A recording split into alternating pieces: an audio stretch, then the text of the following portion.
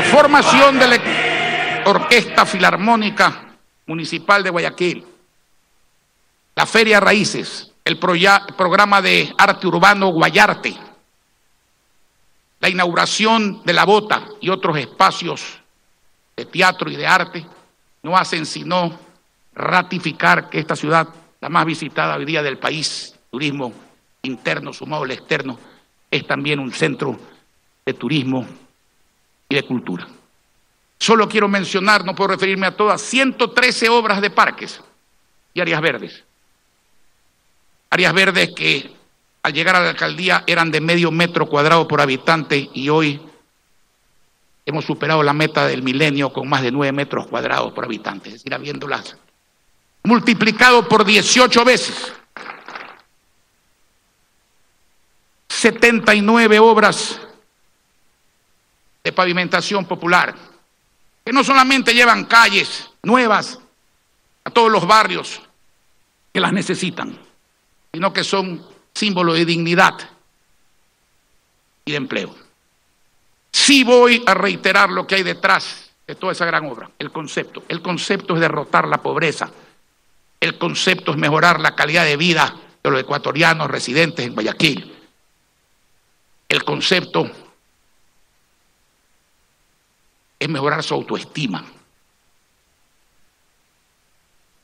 Y a propósito de derrotar la pobreza, tengo el orgullo de decirles que de acuerdo a las últimas cifras oficiales del INEC, en el periodo diciembre del año 2007 y junio del 2017, esta ciudad es la que más ha bajado y reducido la pobreza en el Ecuador, de 22,5% a 10,5%, la que más ha bajado la pobreza extrema, de 5.6% a 1,9%. Y es la ciudad más equitativa, más justa del país, con un índice de Gini del 0,40%. Eso es celebrar Guayaquil como se debe. La lucha por la libertad, sí. La lucha contra la pobreza, también. Y por eso mucha gente me pregunta, ¿cuál es la mejor obra de Guayaquil? ¿Qué es lo mejor de Guayaquil? La respuesta es sencilla. Son sus historias de redención humana las que han vivido y las que van a vivir, sin duda alguna. Lo mejor de Guayaquil son ustedes. Lo mejor de Guayaquil eres tú.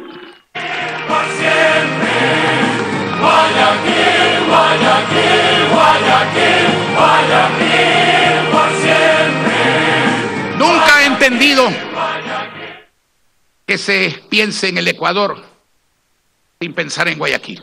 Pero he entendido menos que se piense en Guayaquil sin pensar en el Ecuador. Este es nuestro país. Más allá de nuestras diferencias, respiramos el mismo aire y pisamos el mismo suelo. Y este país tenemos que cambiarlo para bien. Y para eso tenemos que atrevernos, tenemos que perder el miedo. Este tiene que dejar de ser el país del miedo. Miedo a perder el trabajo y miedo a trabajar duro. Miedo a las consecuencias de no invertir y miedo a invertir. Miedo al Estado y miedo al mercado. Miedo al gobierno y miedo a la oposición. Como decía Galeano, miedo a la policía y miedo a los ladrones. Miedo de la mujer a la violencia del hombre y miedo del hombre a la mujer sin miedo. Eso tiene que cambiar. Tenemos que atrevernos. Atrevernos puede perdernos un momento, pero no atrevernos es perdernos para siempre. Y nuestra misión, guayaquileños y ecuatorianos, es encontrarnos cada día, todo lo contrario. Y para eso tenemos que hablar, pero tenemos que entender, porque ya tenemos la experiencia, de intentar dialogar con gente que no quiere oír, con gente egoísta, que piensa en el yo y jamás en el nosotros, no da resultado. Hay que conversar y llegar a acuerdos con gente amplia, sensata, seria, respetuosa, que quiera hacer cosas positivas por el Ecuador.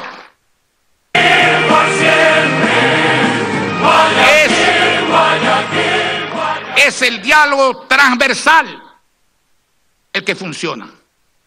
Es el equilibrio lo único capaz de poner en su sitio la tosudez de las ideologías. No nos engañemos, estamos en la cuerda floja. Y aquí el problema no es caerse por la izquierda o por la derecha, el problema es no caerse y llegar a la meta del progreso en libertad. Este país va a poder progresar solamente el día en que los ecuatorianos prioricemos nuestras coincidencias sin dejar de tener diferencias y diversidades de carácter local.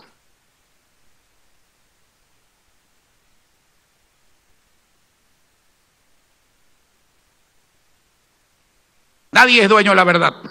Yo no lo soy. Tampoco doy consejos y nadie me los ha pedido. Pero tengo opiniones y la obligación de expresarlas.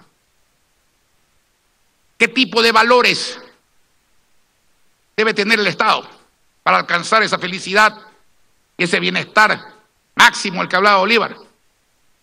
¿Qué tipo de acciones debe realizar el Estado? ¿Cuáles son las acciones complementarias del buen gobierno? ¿Qué necesitamos? Necesitamos democracia total y esa no existe mientras no haya independencia verdadera y contrapeso entre las distintas funciones del Estado.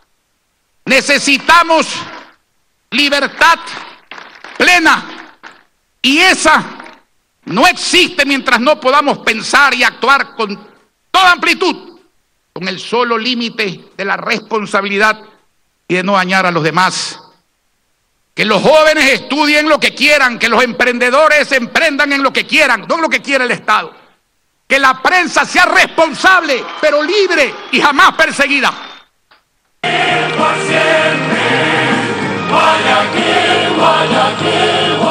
Necesitamos luchar contra la corrupción y eso no se hace ignorando o persiguiendo.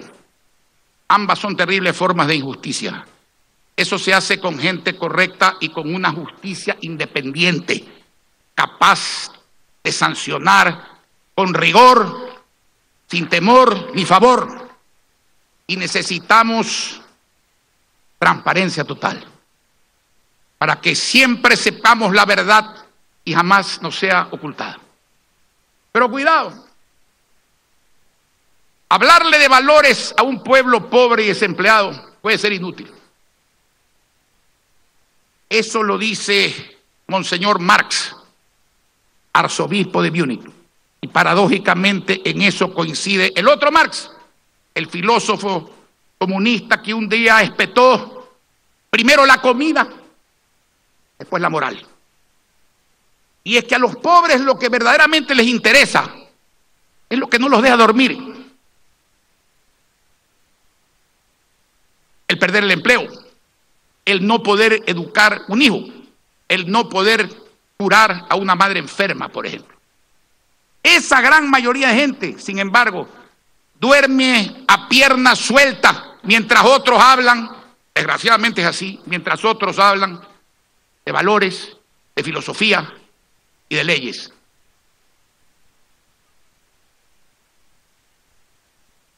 Ese es el tema que debemos definitivamente entender. Para bien o para mal, las prioridades de los pobres son distintas que las prioridades de los ricos. Y por eso es fundamental hoy día resolver el problema económico y el financiero, para que no se convierta en un gran problema social. Por eso es importante resolver el ritmo y el ritmo del país para volver a crecer para volver a generar empleo, para volver a generar mejores condiciones de vida para los ecuatorianos. Ese es el gran desafío. ¿Qué tipo de Estado necesitamos? Hay que empezar por comprender y aceptar que las funciones del Estado y las funciones de la empresa privada son distintas e indispensables. De ninguno de los dos se puede prescindir, pero el totalitarismo del uno es tan insoportable y condenable como el totalitarismo de la otra. Y eso también hay que tenerlo claro. Sin duda, sin duda, el mejor aliado que puede tener un Estado es la empresa privada nacional e internacional. Siempre y cuando las reglas sean claras, los derechos y las obligaciones muy bien fijados en una relación honesta, eficaz, sin claudicaciones. Y más aún en el estado del Ecuador de hoy.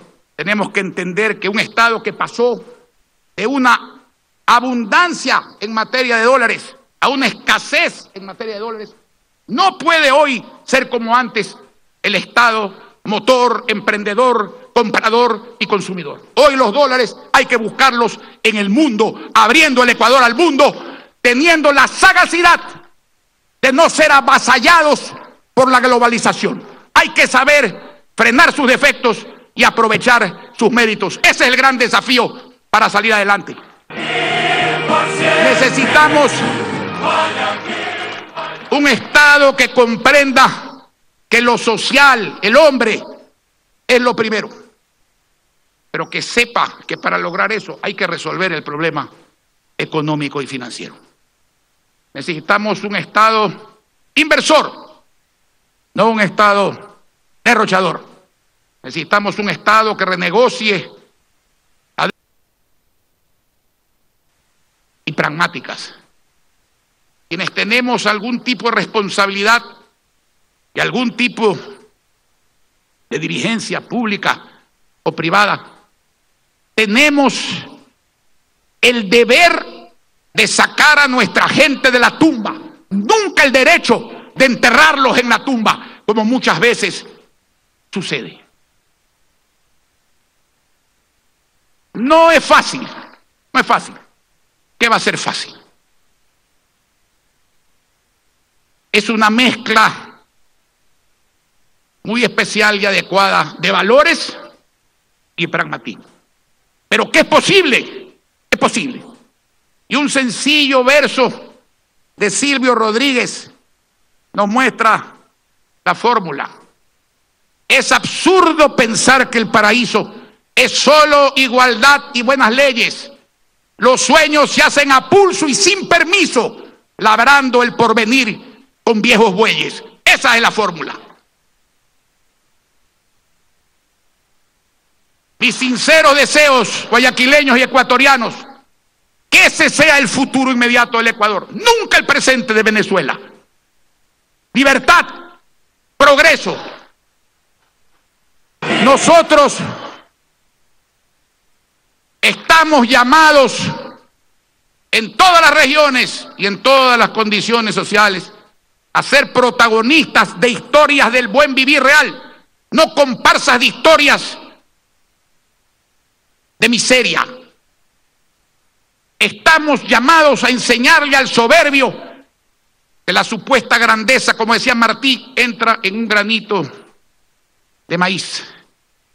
A enseñarle al desesperado que no importa lo que él espera de la vida, sino lo que la vida espera de él. A enseñarle al que está acostumbrado a que lo lideren, a convertirse en líder, al que solo tiene esperanza, a que tenga fe, fe en nosotros, fe en el Ecuador, fe en esta ciudad altiva y solidaria, revolucionaria y tradicional, libre pero respetuosa. Fe en este Guayaquil que siempre pudo y que siempre podrá. Fe en este Guayaquil tan ecuatoriano y tan nuestro que nos permite decir con orgullo, Guayaquil, mi nombre, Guayaquil, mi casa, Guayaquil, mi vida, Guayaquil, por siempre. Guayaquil, mi casa, Guayaquil, mi vida, Guayaquil, por siempre. El Ecuador Guayaquil y Guayaquil es el Ecuador. Señoras y señores.